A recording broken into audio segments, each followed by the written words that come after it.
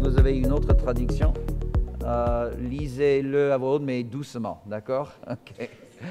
Ésaïe 54, on va commencer dans le verset 1, on va continuer jusqu'à la fin du chapitre. On y va.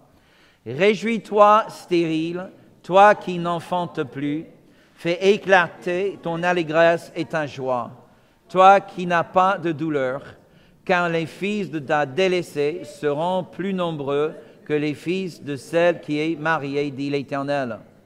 Élargis l'espace de ta tente qu'on déploie les couvertures de ta demeure. Ne retiens pas, allonge tes cordages et affermis tes pieux, car tu te répandras à droite et à gauche. Ta postérité envahira des nations et peuplera des villes désertes. Ne crains pas, car tu ne seras point confondu. Ne rougis pas, car tu ne seras pas déshonoré. Mais tu oublieras la honte de ta jeunesse et tu ne te souviendras plus de l'opprobre de ton veuvage, car ton Créateur est ton époux. L'Éternel des armées est son nom. Ton Rédempteur est le Saint d'Israël. Il se nomme Dieu de toute la terre. Car l'Éternel te rappelle comme une femme délaissée et au cœur attristé, comme une épouse de la jeunesse qui a été répudiée, dit ton Dieu. Quelques instants, je t'avais abandonné, mais avec une grande affection, je t'accueillerai. Dans un instant de colère, je t'avais un moment dérobé ma face, mais avec un amour éternel, j'aurai compassion de toi, dit ton Rédempteur l'Éternel. Il en sera pour moi comme des eaux de Noé. J'avais juré que les eaux de Noé ne se répandraient plus sur la terre. Je jure de même de ne plus m'irriter contre toi et de ne plus te menacer. Quand les montagnes s'éloigneraient, quand les collines chancelleraient, mon amour ne s'éloignera point de toi, et mon alliance de paix ne chancellera point, dit l'Éternel, qui a compassion de toi. Malheureuse, battue de la tempête, et que nul ne console, voici, je garnirai tes pierres et je te donnerai des fondements de saphir je ferai des créneaux de rubis, des portes d'escarboucle, et toute ton enceinte de pierres précieuses. Tous tes fils seront disciples de l'Éternel, et grande sera ta postérité de ta fils. Tu seras affermi par la justice. Bannis l'inquiétude, car tu n'as rien à craindre, et la frayeur, car elle n'approchera pas de toi. Si l'on forme des complots, cela ne viendra pas de moi, Quiconque se liguera contre toi tombera sous ton pouvoir. Voici, j'ai créé l'ouvrier qui souffle le charbon au feu et qui fabrique une arme par son travail, mais j'ai créé aussi le destructeur pour la briser. Toute arme forgée contre toi sera sans effet, et toute langue qui s'élèvera en justice contre toi, tu la condamneras. Tel est l'héritage des serviteurs de l'Éternel, tel est le salut qui leur viendra de moi, dit l'Éternel.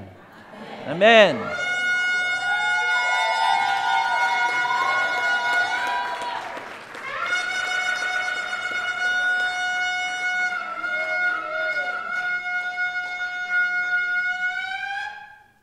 Alléluia. Yeah.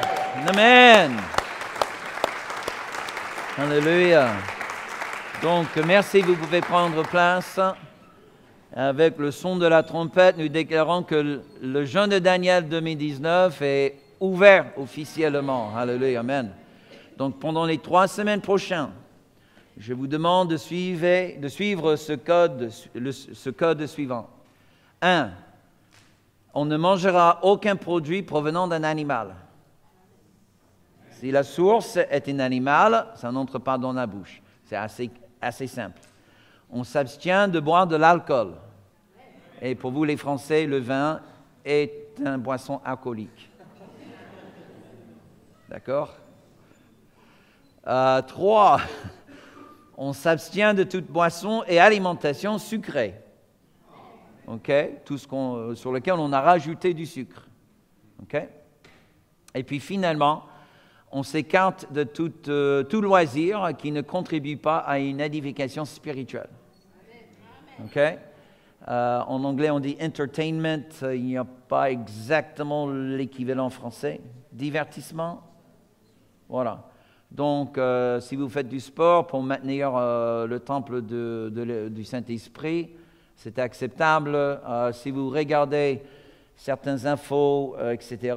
Mais si vous êtes accro au Facebook, Twitter, comment? Netflix, ah bah surtout Netflix. surtout, surtout. Euh, films, jeux vidéo, euh, quoi d'autre? Ben, mettez ça devant le Seigneur, d'accord? Ok. Soyez sages. Euh, Ce n'est pas le pasteur Robert qui décide ce que tu dois faire. Tu décides ce que tu vas faire. On offre ça comme des grandes lignes à respecter. Et euh, voilà, donc on a mis euh, à votre disposition un site internet. C'est très simple, jeûnededaniel.com. Quand même, on ne peut pas avoir plus simple que ça. Sauf qu'on on, accède le site pour vous. Mais bon, quand même. Euh, jeûnededaniel.com et vous trouverez aussi d'autres encouragements sur le comment faire un jeûne. Alors surtout pour les débutants, si vous n'avez jamais fait ce jeûne, vous allez découvrir que c'est plutôt facile. OK? Euh, et, ce n'est pas qu'on est des, on est des paresseux, des lâches, et euh, on ne veut pas faire un jeûne euh, classique, mais on voulait proposer un jeûne qui est accessible à tout le monde. Et, mais en même temps, chacun doit façonner le jeûne dans la manière qui lui convient, pour suivre le Saint-Esprit. C'est juste qu'on déclare vraiment partir de la fin du culte, le jeûne commence. Donc si vous avez des bonbons au chocolat dans le sac, mangez-les maintenant. OK Parce qu'à la fin du culte, voilà, c'est terminé jusqu'à la fin du culte du 28. C'est bien le 28 29 27 C'est quoi dans, dans C'est quoi? 29 septembre. OK? À la fin du culte du 29 septembre, vous rompez le jeûne. Et c'est sur le tableau, mais on a du mal à le voir aujourd'hui. On a un beau soleil extérieur. Et puis, vous avez non seulement le site Internet, là où vous trouverez plein de choses, même vous pouvez vous abonner. Si vous préférez voir, euh, il y a un, texte qui est écrit pour chaque jour euh, pendant le jeûne vous pouvez vous inscrire sur le site et cela sera envoyé directement à, votre smartphone ou votre ordinateur, etc. Ou vous pouvez, si vous êtes comme moi, moi j'aime bien les papiers, c'est pas que j'aime tuer les arbres, mais j'aime bien le papier. Je sais pas, quand je peux le toucher, euh, voilà. Et j'aime tourner la page. J'ai l'impression à la fin que j'ai accompli quelque chose. Voilà. Donc, euh, on a, euh, c'est pas deux guides, mais on a un guide en, français, et we also have the, guide in English. Donc, euh, c'est disponible où, Catherine? Au, OK, au stand info. C'est gratuit, OK? D'accord? Mais si vous voulez laisser un billet de 500, c'est pas mal. Non, mais le guide, il est gratuit, entièrement gratuit. D'accord? Le jeune va vous coûter. D'accord? OK. Euh, voilà, le site en anglais, par contre, il y a une petite euh, faute. Le site en anglais, c'est danielfast.blog. Oui, c'est pas .com, c'est .blog. Mais bon, bref, euh, les gens vont découvrir. In English, uh, the website is danielfast.blog. OK? Alors, il faut savoir, chaque année, je crois que c'est notre 19e année. Quand même. Et 17 16 c'est comme vous voulez, d'accord? C'est pas que je suis menteur, c'est juste que je ne suis pas très doué en, chiffres, mais ce n'est pas notre premier jeûne. Ce qui est remarquable chaque année, il faut voir les commentaires. Déjà, j'en ai eu, hein, j'en ai tiré. Euh, quand j'ai posté des exhortations, des encouragements sur Facebook, les, les commentaires que les gens laissent, c'est incroyable. Que de la critique. Ah, c'est pas le vrai jeune qu'a fait Daniel. Euh, oh là, euh, ça c'est de l'Ancien Testament, parce que Daniel c'est dans l'Ancien Testament. Euh, c'est pas le jeune qu'a fait Jésus. Et moi, je suis Jésus. Donc, si je jeûne, ce serait comme Jésus, pas comme Daniel. OK, bah, fais 40 jours dans le désert comme Jésus. C'est même mieux. OK, prends un vol, allez dans le désert de Judée, OK, dans le Negev, avec une bouteille d'eau, et passez les 40 jours. Il n'y a pas de souci, hein, franchement. Fais-le, mais au lieu de critiquer, fais quelque chose. Vous me suivez? OK? Mais, c'est absolument incroyable, les critiques qu'on tire, parce qu'on veut vraiment mettre de côté un temps pour, pour chercher la face de Dieu. Mais non seulement y a-t-il des critiques qui sont de l'extérieur, il y a des grands négociateurs qui sont à l'intérieur de l'Église. Ah, mais vraiment, on va faire ça encore? Oh là, ça commence à devenir vieilloche, ça. Ah, peut-être il est temps de changer. Ah, bah franchement, euh, cette année, j'ai pas vraiment envie. Ah, mais tu sais, j'ai pas besoin de jeûner pour que Dieu me bénisse. Ah, bah, mon cœur n'y est pas. Ah, mon préféré. Bah, Dieu me l'a pas dit. Dieu me l'a pas dit. J'aime bien ça, hein. ça c'est mon préféré. Donc j'aimerais vous rappeler pourquoi nous faisons un jeûne de Daniel. OK. Mais déjà numéro un, on a besoin de le faire. Es-tu vraiment où tu veux être? Est-ce que Dieu a fini tout ce qu'il veut faire dans ta vie? As-tu dominé ou tué ou massacré tous les géants qui existaient dans ton âme? Est-ce que Dieu t'a accordé tous les miracles dont il a promis? Est-ce qu'il te reste encore un progrès à faire dans ta vie chrétienne? Alors tu as besoin de faire ça. Et le besoin est critique. Il ne faut plus dire Ah, je le ferai plus tard quand j'ai envie. Peu importe, parfois, mes amis, il y a des choses dans la vie qu'il faut faire quand tu n'as pas envie. Combien vous avez reçu un joli courrier de l'État français cette semaine?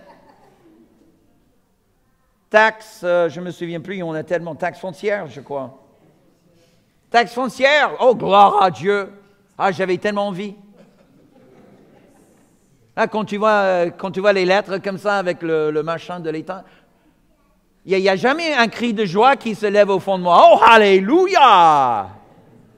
Mes amis, il y a des choses dans la vie, on n'a pas envie. J'ai envie de vivre dans ma maison. J'ai envie d'être propriétaire. Gloire à Dieu. En France. Si tu veux être propriétaire en France, Bonjour, taxe foncière. Ça vient avec. Tu peux pas dire, Seigneur, donne-moi une maison, rends-moi propriétaire, mais écarte-moi les taxes foncières.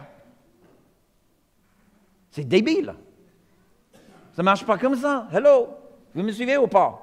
Donc, il y a un besoin. J'ai besoin de faire ce jeûne. Oui, ça c'est facile pour vous le dire. Mais toi aussi, tu as besoin de le faire. Pourquoi la main pour moi était plus fort que la main pour vous?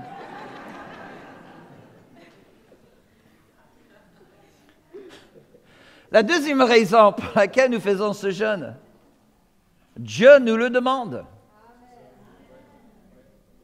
Dieu nous a donné une convocation sainte. Nous avons reçu un ordre de Dieu. Cherche ma face. Fais ceci. Je sais ce qui se passe euh, dans la tête. Exactement pareil. Quand quelqu'un vient m'annoncer, oh, Dieu me dit, et je dis, mais hmm, Dieu ne me l'a pas dit. Alors, si tu es membre de l'Église, et tu n'as pas, et je, je, prie vraiment de tout mon cœur, vraiment, parce que ça rendrait mon travail nettement plus facile si tu entends la même voix que moi j'entends. N'est-ce pas? Parce que vous avez aussi le Saint-Esprit. N'est-ce pas? Ça serait, ça serait bien que je, vous annonce X, Y et Z, et vous dites, waouh, mais c'est incroyable, Dieu me l'a dit vendredi matin. On va réduire déjà la durée du culte. Ah, Catherine sera là, elle va dire, ok, on va chanter tel et tel chant. Oh, le Saint-Esprit m'a donné ça mercredi matin, donc je l'ai déjà chanté. Ah, d'accord, bon, on passe. Deuxième chant, on va chanter ça. Oh, Dieu, le Saint-Esprit m'a donné ça mardi soir. Wow, ok, donc passons au troisième chant. Tu vois Catherine, elle vient pour, pour, présenter les offrandes. Dit, oh non, non, non, non, Catherine, pas la peine. Dieu m'a déjà parlé combien je dois donner. Donc assis-toi. Donne-moi le corbeil, voilà mon chèque. Je dis, waouh le pasteur, il prend la parole et dit, voilà, on va tourner. Non, non, non, non, pasteur, ne le dites pas parce que Dieu nous a déjà révélé le message. On l'a déjà entendu. Gloire à Dieu, bon, on va prier, on va rentrer à la maison. Franchement, on peut faire le culte en 15 minutes. Incroyable. Le problème, c'est que parfois, les responsables de l'Église en entendent quelque chose et vous ne l'entendez pas.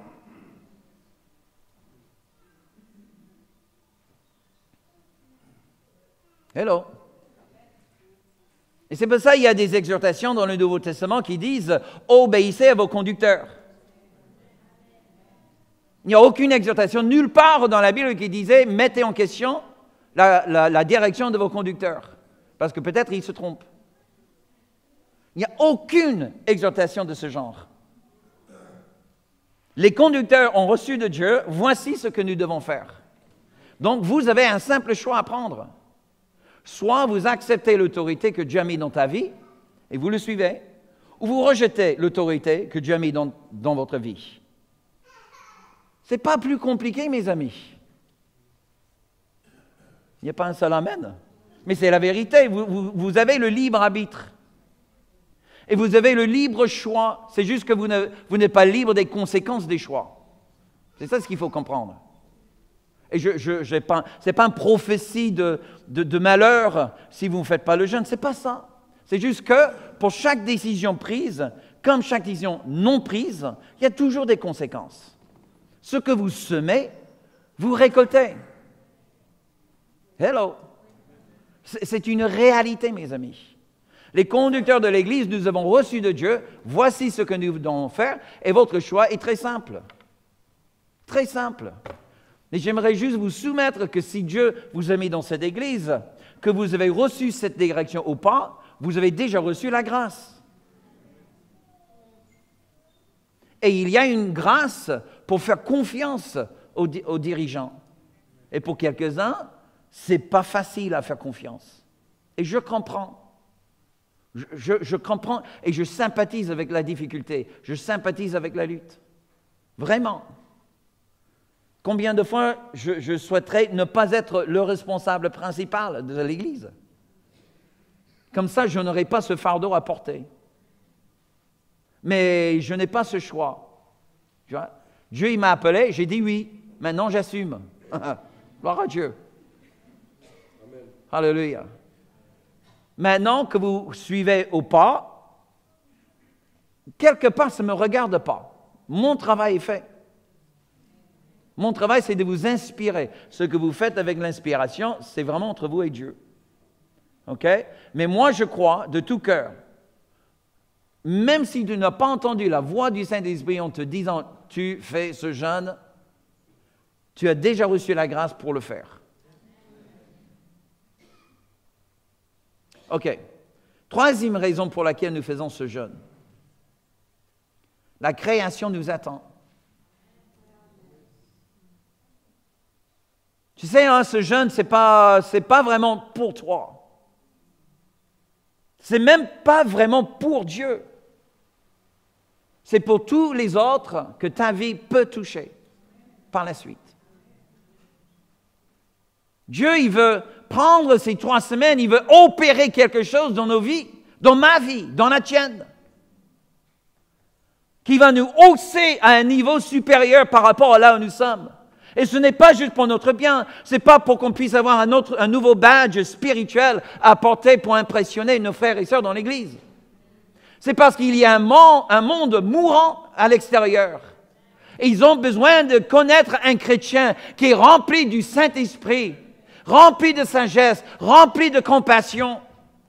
Le monde a besoin de, de voir et de concevoir qu'il y a une Église glorieuse de Jésus-Christ qui n'est pas reconnue par le titre ni par le bâtiment, mais qui est reconnue par la gloire manifestée au sein d'elle. La société attend une véritable manifestation du royaume céleste. Quelque chose qui impacte, quelque chose qui laisse une marque. Quand le monde est indifférent à nous, il y a un problème chez nous. Quand le dimanche matin, les chrétiens du quartier vont au culte et tous les autres, tous les incroyants autour ne font que Là, il y a un problème avec nous. Hello. Le problème n'est pas, oh Seigneur, touche le monde extérieur. Ah ben non. Ah ben non. Seigneur, embrase l'Église à l'intérieur et le monde le verra. C'est le monde qui nous attend.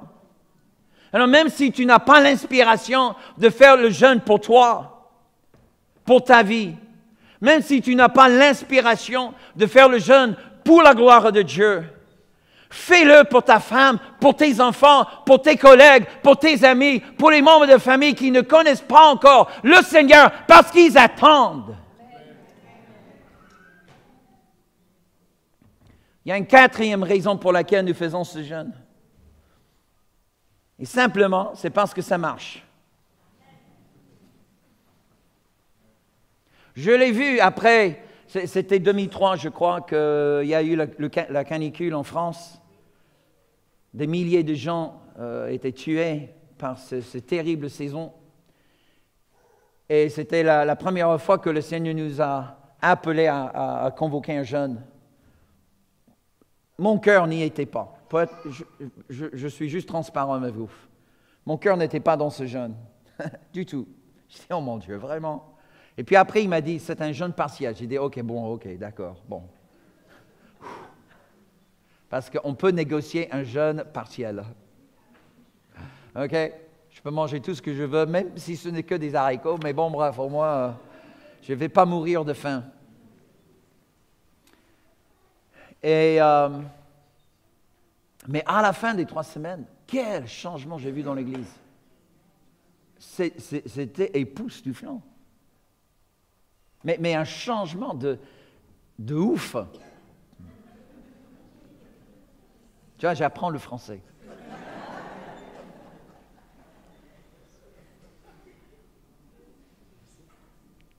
Et après, j'ai dit, waouh. Et puis, on, a, remis ça devant le Seigneur l'année suivante. J'étais beaucoup plus ouvert à faire le jeûne, mais mm, ouvert à moitié. Mais encore, on a reçu du Seigneur qu'il fallait le faire. À cette époque-là, c'était Catherine qui s'occupait vraiment de, rédiger des, des, euh, des, machins, là, les guides. OK? Parce que mon cœur n'y était pas. Je crois que c'était la troisième ou quatrième année où tout d'un coup, vraiment, j'ai commencé à voir les résultats chaque année. Il y a eu des résultats dans l'Église. Alors honnêtement, j'ai dit, Seigneur, maintenant, c'est plutôt une question, il faut, que, tu me dises de ne pas faire. Parce que je vois vraiment un tel résultat dans l'Église. Un esprit d'unité, une puissance, une sensibilité, un amour, une unité. Je parlais avec un, des jeunes de l'Église qui, euh, peut-être il, il, est né à, l'époque du, du, premier jeune, mais à peine. Tu vois, vraiment, il était garçon et récemment dans l'Église, et même il a remarqué, il m'a fait la remarque récemment, entre la différence de l'Église à la fin septembre et l'état de l'Église à la fin juin. Et comment expliquer qu'à la fin septembre, il y a vraiment une unité? On, ressent vraiment, les, gens sont vraiment soudés les uns avec les autres, et puis au mois de juin, c'est comme il y a une énorme dispersion. Les gens sont fatigués, dispersés, tu tout le monde dit, oh, que les vacances arrivent rapidement, tu vois. Et moi, je suis convaincu, c'est grâce à la puissance qui est dans le jeûne de Daniel. Donc même si vous ne le faites que pour cette raison, faites-le. Fais-le. Fais-le d'un cœur entier. Même si c'est un jeûne partiel, ne te permet pas d'avoir un cœur partiel.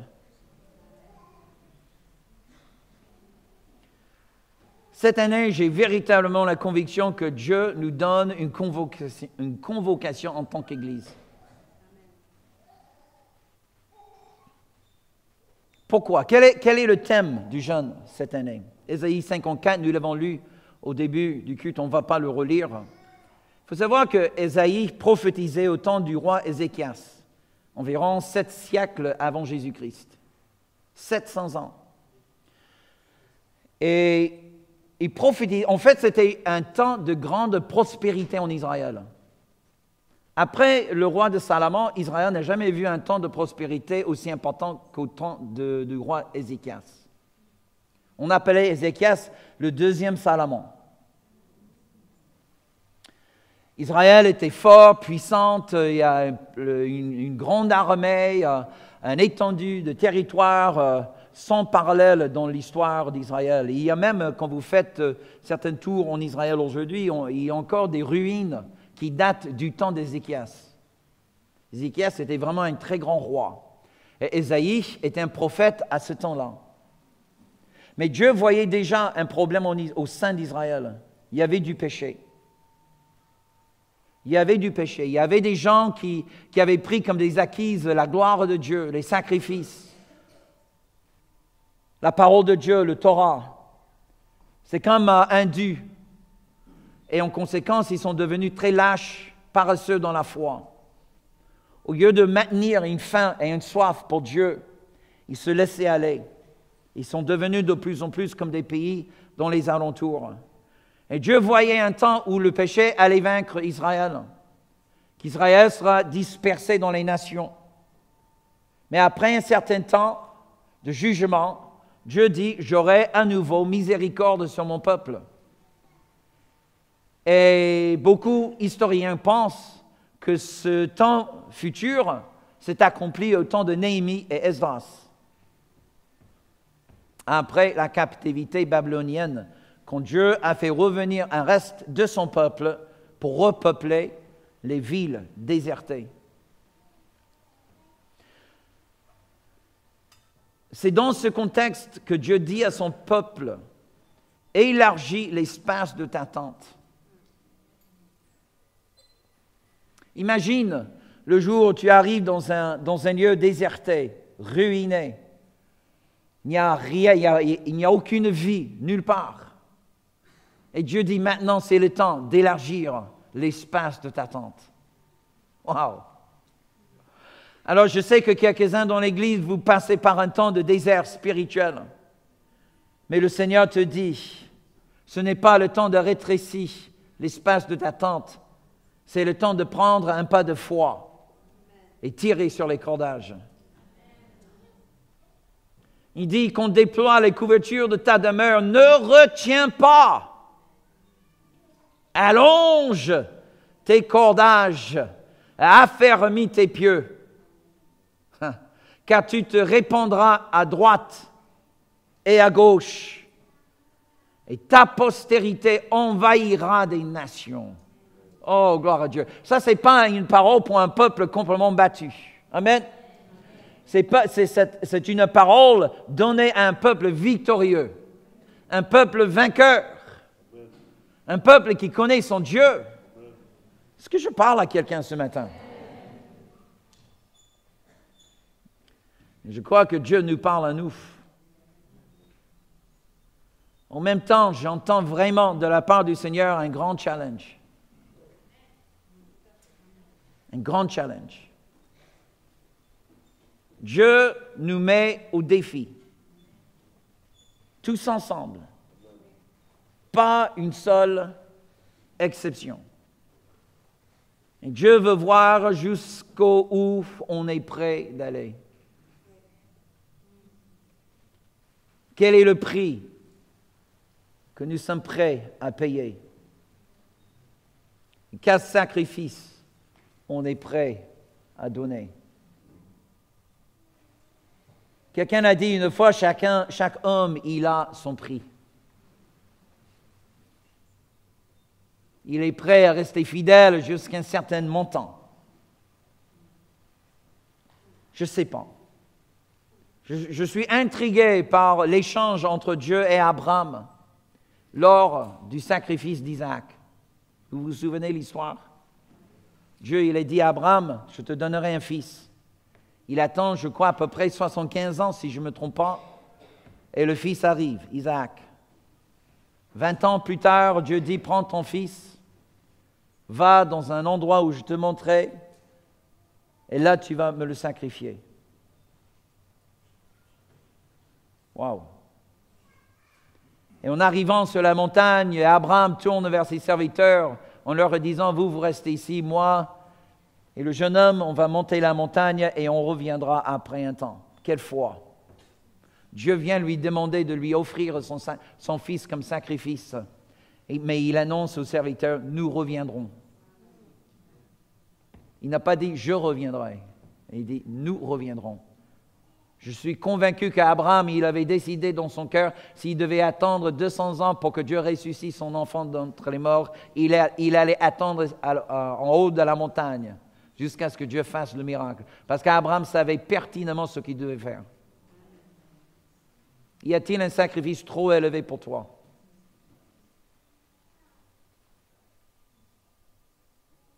Tu es prêt à obéir à Dieu jusqu'à où Tu vois, moi, j'ai dit au Seigneur en 86, Seigneur, j'irai où tu veux, sauf l'Europe. C'est vrai, hein? J'exercerai tout, tout ce que tu veux que j'exerce comme ministère, sauf ne m'appelle pas être missionnaire. Ben voilà. Il faut jamais dire jamais à Dieu. J'ai découvert quelque chose. Si tu ne veux pas que Dieu t'appelle à un endroit, n'en dis rien. Ferme la bouche. Et justice, Seigneur, que ta volonté soit faite. Hello.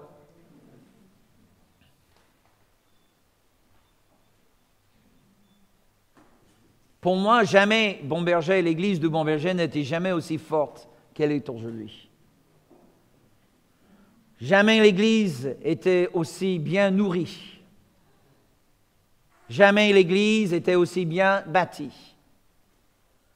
Jamais l'Église était aussi bien encadrée.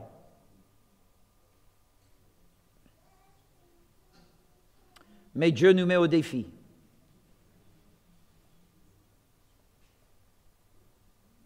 Nous n'avons pas encore atteint la perfection, mes amis. Amen. C'est souvent quand, euh, j'aime bien la, notion de Jésus quand il parle de la récompense. Tu vois, les, serviteurs fidèles, qu'est-ce qu'ils reçoivent comme, euh, récompense? Lisez bien euh, les paraboles de Jésus. Ils ne reçoivent jamais des vacances. Ils reçoivent plus de travail. Je dis gloire à Dieu. La récompense de Dieu, n'est pas plus de, vacances. La récompense est plus de travail. Incroyable. Très peu d'amen ici. C'est plus les oulala. Mais ça, c'est notre Dieu. Vous savez, il y a un dicton parmi les pasteurs. Si tu veux vraiment que quelque chose soit bien fait dans l'Église, trouve le gars qui est trop chargé et donne-lui la tâche. Parce que lui trouvera la façon de le faire. Dieu donne toujours plus à celui qui exécute bien. Et il enlève le peu de ceux qui sont paresseux. Hello. Si tu veux que Dieu te donne plus, sois fidèle avec le peu que tu as déjà. Parce que Dieu cherche. Il cherche tous les jours. C'est incroyable. Les, yeux de Dieu n'arrêtent jamais à survoler son peuple pour trouver ceux et celles qui sont fidèles, qui obéissent, qui agissent dans la foi. Hello? Et quand les yeux de Dieu tombent sur toi, est-ce que les yeux s'arrêtent Ou est-ce que les yeux continuent à bouger? En cherchant quelqu'un d'autre Quand Dieu toque sur ta porte, la porte de ton cœur, y a-t-il une voix à l'autre côté de la porte qui dit, me voici Seigneur, je suis prêt. Oui, est-ce que Dieu trouve un négociateur à l'autre côté de la porte? Seigneur, oui, mais tu comprends que j'aimerais, mais... Oh, peux-tu revenir plus tard? Hmm. Vous savez, il y a trop de gens, trop de chrétiens, trop d'enfants de Dieu qui se reposent sur des acquis. Il faut comprendre que la vie éternelle, elle est gratuite, parce que c'est quelque chose que tu ne peux jamais acheter. La grâce, Dieu donne en surabondance, mais la gloire, c'est autre chose. Sa bienveillance, il donne librement, mais la présence, c'est autre chose. L'accès au ciel, il le donne et il faut juste invoquer le nom de Jésus et ton accès au ciel est ouvert. Mais que le ciel trouve un accès sur la terre à travers toi, ça c'est autre chose. Et qu'est-ce que tu veux véritablement? Veux-tu te, te contenter simplement sachant que tu as un billet direct au ciel le jour de ta mort? Veux-tu payer un prix pour qu'à n'importe quel moment où le ciel décide, il trouve en toi une porte ouverte sur la terre Moi, j'ai décidé que le prix qu'a payé mon Seigneur Jésus était si élevé que ça valait plus que juste ma présence au ciel pour l'éternité que son sacrifice valait un prix, même de ma part. Ou moi je dis, Seigneur, je suis prêt à donner ma vie, mon âme, mes biens, ma foi, ma consécration, mon dévouement, le prix qu'a payé Jésus pour moi, mérite à ce que je lui donne. Peut-être jamais l'équivalent, mais au moins, au moins pour moi, je donne tout ce que je peux. Je ne veux pas donner mon dernier respire sur cette terre en sachant que j'ai réservé quelque chose au fond de moi que je n'ai pas déversé pour la gloire de mon Dieu. Quand mon cœur s'arrête à battre et mon cerveau ne marche plus et que je me retrouve dans sa présence, je ne veux pas entendre de mon Créateur, mon Fils, j'ai fait beaucoup de choses avec toi, mais regarde toute cette hangar de choses que je voulais faire à travers toi, mais tu n'étais pas encore prêt. Si Dieu y a réservé quelque chose pour moi, je veux qu'il le déverse en plénitude et en abondance.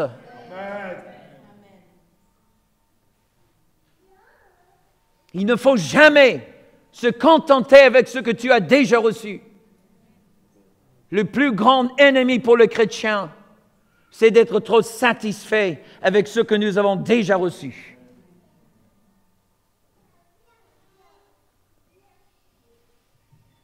Les chrétiens qui, qui se reposent sur des acquis, qui gardent leur poste comme si c'était un dû, ils exigent un soin qu'on s'occupe d'eux, mais ils ne contribuent jamais à la vie collective. Ils bloquent l'avancée des autres et ils critiquent ceux qui sont malades ou fatigués. J'aimerais juste dire un mot à ceux de ma génération. Il ne faut pas penser que vous avez le droit d'être honoré pour ce que vous avez fait dans le passé. Mais vous avez perdu votre faim et votre soif. Vous ne vous pressez plus pour avancer dans le Seigneur. Votre dévouement envers Dieu et votre caractère n'inspirent plus les jeunes, car ils vous dépassent dans la consécration. Vous voulez qu'ils vous suivent, mais vous ne leur donnez pas un exemple à imiter. Pour ceux de la génération suivante, vous pensez que nous devons vous laisser les clés d'une maison dont vous n'avez pas construit et pour laquelle vous n'avez jamais versé un goût de sang. Vous pensez qu'il est normal qu'on chante votre louange pour le moindre bonne œuvre, mais vous n'avez pas le doux parfum de l'humilité et vous manquez terriblement de sagesse. Vous pensez que vous pouvez dénoncer les autres pour leur défaillance sans prendre en compte que le jugement que vous semez vous devez récolter nettement plus sévèrement. Non, mes amis, nous ne sommes pas encore prêts pour la gloire de Dieu. Il y a un trop grand travail à l'intérieur de chacun de nous. Et il est temps. Le Seigneur nous convoque. Le Seigneur nous appelle. On joue trop bien le rôle de la victime. On s'enorgueillit et on n'est pas transparent. On fait si bien le bilan des autres, mais on est incapable à faire le bilan de soi-même. On se déguise avec une fausse spiritualité. Et même parfois, on se sert du nom de Dieu pour excuser nos faiblesses et notre enfantillage.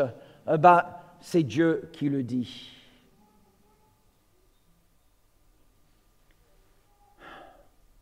Récemment, quelqu'un a demandé à Catherine et moi, nous en parlait d'un jeune couple qui voulait se marier. Ils ne sont pas de bons bergers. Et supposait que l'église où allait la fille, les pasteurs ne voulaient pas s'en occuper. Et cet ami en commune euh, nous a demandé si on pouvait faire quelque chose.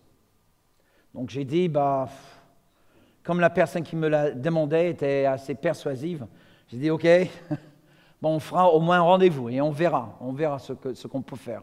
Déjà, euh, pour moi, je n'ai pas assez de temps pour vous. Alors, euh, je n'ai pas envie de le donner à ceux qui sont dans d'autres églises. Mais j'ai dit, bon, ok, on verra. Et euh, le premier rendez-vous, ça s'est bien passé, très bien passé. On a, on a senti vraiment quelque chose pour ce couple. Et euh, peu de temps après, on découvre que le jeune homme était infidèle voyez, une autre approche était, OK, un mariage dans six mois, on va faire un ou deux rendez-vous, comme ça. Voilà, on essuie les mains de, notre responsable. On a fait un, service minimum, vous voyez. Et là, quand j'ai appris que le jeune homme était infidèle, j'ai dit, oh non. Et il me dit, Robert, j'ai besoin de ton aide. Je veux sauver mon couple. Et là, tout de suite, j'ai dit, mais déjà, j'ai dit, Seigneur, franchement, si je savais, je n'aurais jamais dit oui.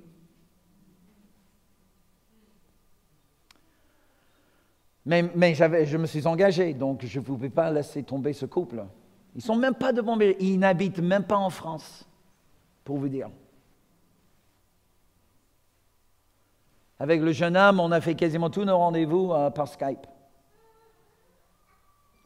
Et je consacrais des heures et des heures et des heures pour accompagner ce jeune homme, lui montrer le chemin de la repentance, de l'humilité.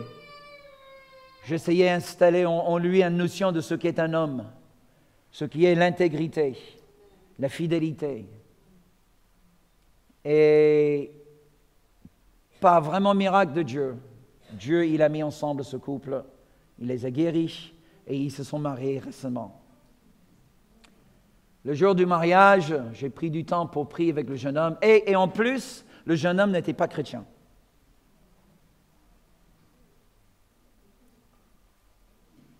Il n'est pas encore chrétien. Et je lui ai dit euh, avant, avant la cérémonie, j'aimerais avoir un temps de prier avec toi. Elle a dit oui, j'aimerais bien. Un non-chrétien. Incroyable. Le plus chrétien des non-chrétiens, j'ai jamais rencontré. Vous savez ce que je lui ai dit J'ai dit, écoute, j'aimerais juste te dire que je suis vraiment fier de toi. Tu as saisi l'humilité qu'il fallait. Tu avais un cœur brisé, mais enseignable. Tu as toujours fait au-delà de tout ce que je t'ai demandé de faire. Et aujourd'hui, c'est toi qui as sauvé ton couple. Et je lui ai dit ceci, j'ai dit, je souhaiterais à, ce que tous les chrétiens aient la même attitude que toi.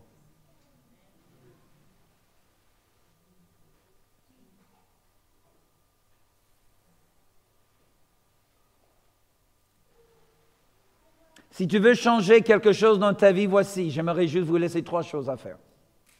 Numéro un, il faut accepter responsabilité pour ta vie. Il faut accepter responsabilité pour où tu es. Quelqu'un me l'a dit une fois, bon, ce n'est pas la totalité de la vérité, mais je crois qu'il y a une vérité dedans. Il a dit ceci, il a dit, tu es, tu es le résultat de toutes les décisions que tu as prises jusqu'à présent. Ta vie, aujourd'hui, c'est le bilan, c'est le montant, c'est le, résultat de toutes tes décisions que tu as prises jusqu'à aujourd'hui. Et l'homme que tu seras demain est le résultat des décisions que tu prennes aujourd'hui. Il faut que tu acceptes responsabilité pour ta vie. Si tu cherches le problème pour ta vie, tu n'as pas besoin de t'éloigner plus loin que le miroir pour voir où est la source des problèmes. Ton problème n'est pas le diable. Ton problème ne sont pas des démons. Le problème, c'est toi. Le problème n'est pas ta femme, tes parents, ta famille ou ta culture. C'est toi le problème. Le problème n'est pas ton travail, ton collègue, ton patron ou ton salaire. C'est toi le problème. Le problème, ce n'est pas ton frère, ton église, ou ton pasteur, ou ton Dieu.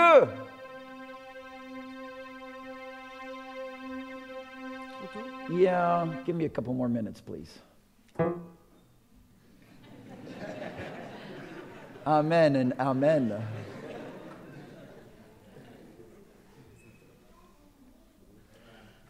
Donc arrête de demander à Dieu de changer tes circonstances. Tes circonstances ne font que révéler le problème, elles ne sont pas la cause.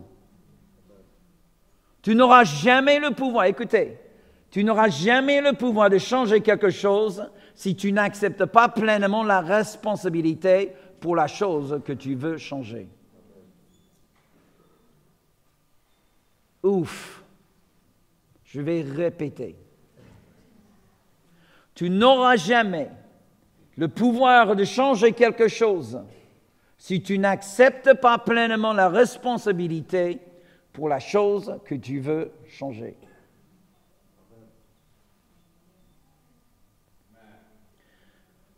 Donc, ça c'est la première chose que je vous demande de faire ce matin. Accepter responsabilité. Deuxième chose, sois passionné pour la transformation.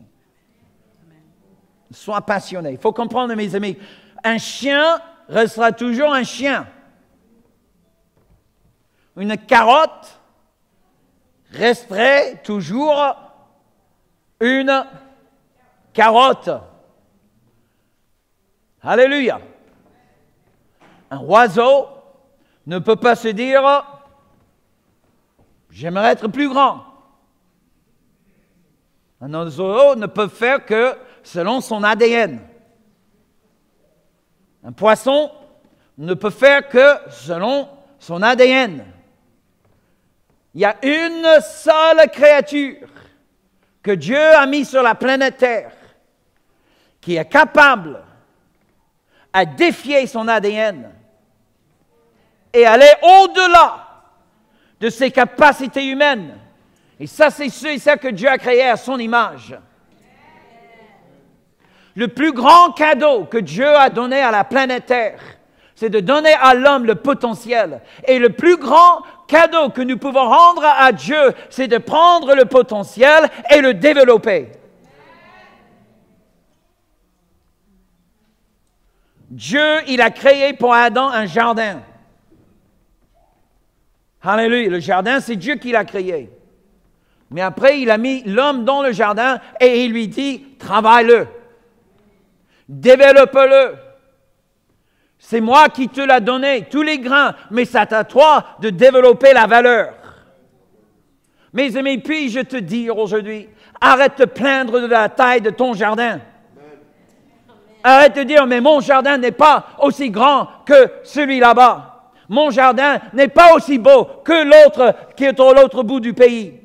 Oh, mon jardin n'est pas le plus attirant qu'il en soit. Oh, mon jardin est, peu accessible. Oh, mon jardin, je n'ai que des problèmes avec mon jardin. Arrête de plaindre. Et lève-toi et fais quelque chose avec ton jardin. Et peut-être tu n'auras jamais le plus grand, ni le plus beau, ni le plus attirant, mais c'est le tien. C'est le tien. Et si tu laisses le diable te paralyser en, te, purant ta misère parce que tu n'as que des mauvaises herbes qui poussent chez toi,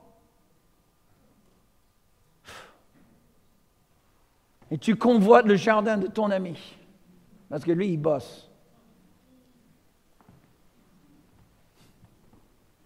C'est incroyable. Depuis des, années, je disais, oh Seigneur, les fenêtres chez moi sont, dans, un état épouvantable.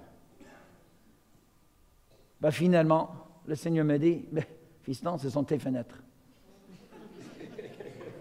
Qu'est-ce que tu veux que je fasse avec tes fenêtres? Ah, Seigneur, donne-moi des nouvelles fenêtres. J'ai dit, Seigneur, si j'avais juste au moins un peu d'argent pour acheter des nouvelles fenêtres en PVC, là, waouh, la vie sera meilleure.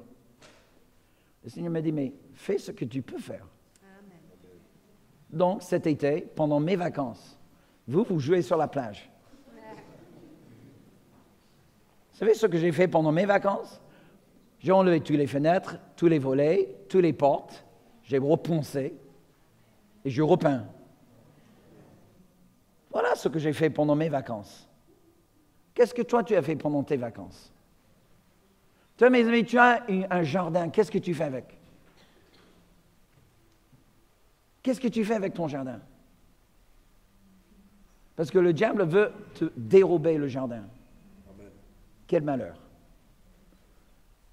Je t'encourage, aujourd'hui, tu décides, tu vas prendre possession de ton jardin.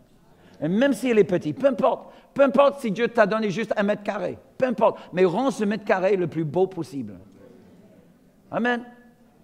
Et surtout si tu trouves le diable dans ton mètre carré, chasse-le, écrase-le, parce que dans ton jardin, dans ce petit mètre carré, tu as toute autorité.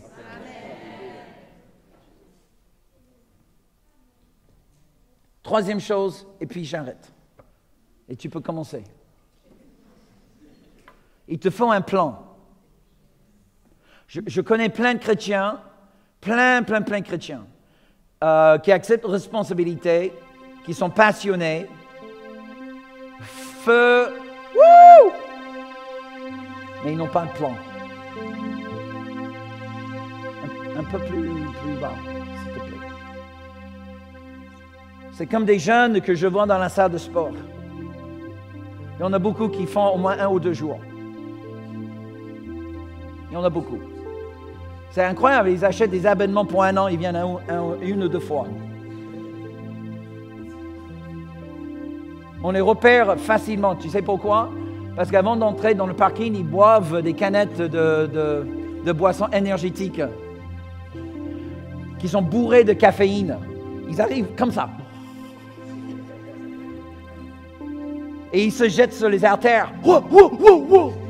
Et parce qu'ils ont vu une vidéo sur YouTube, ils sont experts. C'est incroyable. Hein? Hey mec, regarde-moi.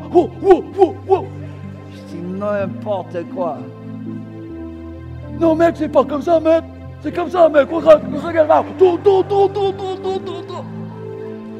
J'en ai fait trois. Wow, quelle bonne journée. On a bossé là. Alors, on va boire notre euh, canette de boisson énergétique et on revient euh, l'année prochaine. C'est incroyable. Je dis, Seigneur, ils vont se tuer là, franchement. Il faut un plan. Il faut un plan. Il faut, savoir vraiment qu'est-ce que Dieu attend de moi. Si tu n'as pas de plan, tu vas échouer. Tu n'iras pas loin. Tu n'auras aucun progrès. Il ne faut pas juste un rêve, il faut un plan, quelque chose de concret. Ce matin, bien évidemment, il faut que je finisse, mais ce n'est pas à moi de donner le plan pour ta vie. Ça, c'est le rôle du Saint-Esprit. Mais ce que je peux vous donner, c'est une occasion à chercher sa face et à connaître son cœur. Et ce temps commence maintenant. Ce temps commence maintenant. Pour chacun de nous. De se dire, Seigneur, prêt ou pas prêt, je me lance. Envie ou sans envie, je prends le pas de foi.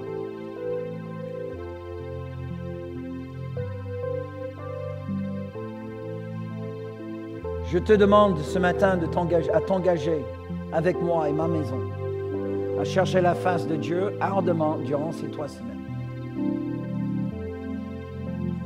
Je te demande à suivre le jeûne le mieux possible, à lire le guide de prière et suivre les exhortations, à mettre de côté un temps chaque jour pour étudier la parole de Dieu et pour prier.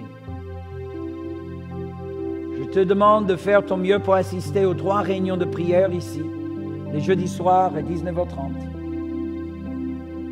Et si tu ne peux pas venir physiquement, que tu veux te connecter par Internet. Je sais qu'on a des visiteurs, je sais qu'on a des nouveaux dans l'Église, mais je vais vous demander de faire quelque chose qui pour moi est très important. L'objectif n'est pas d'embarrasser ceux et ceux qui ne peuvent pas répondre d'une manière affirmative, de donner à, ch- à chacun et à chacune l'occasion à se présenter devant le Seigneur et se dire avec moi, Pasteur, je me tiens avec toi. Je me tiens avec les anciens de l'Église. Je me tiens vraiment avec mes frères et sœurs. Par la gloire de Dieu, par sa grâce, je vais vivre ce jeûne avec mes frères et sœurs. Si c'est toi, je t'invite à te lever. Encore une fois, si tu n'as pas cette foi, reste assis. Il n'y a aucune condamnation. N'est pas pour faire de forcing, ni pour embarrasser qui que ce soit. C'est juste une occasion pour chacun d'entre nous de dire Seigneur, me voici. Me voici. Voici mon obéissance. Voici ma foi. Alléluia. Juste place ta main au-dessus de ton cœur, s'il te plaît.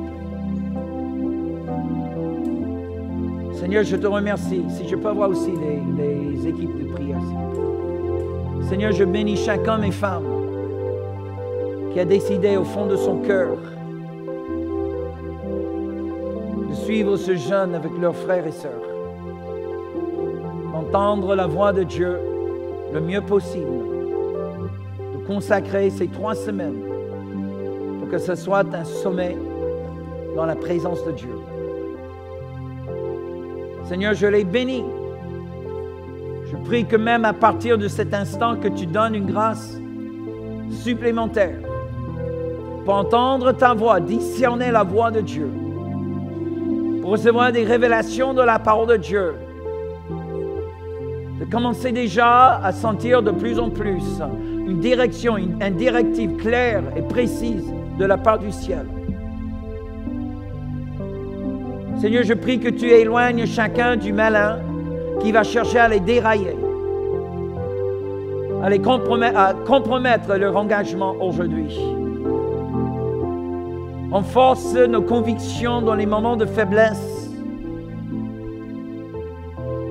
pour qu'à la fin de ce jeûne, la tente soit élargie, les fondements soient affermis et renforcés, et que nous soyons chacun plus clairs sur le plan de Dieu que tu as pour nous.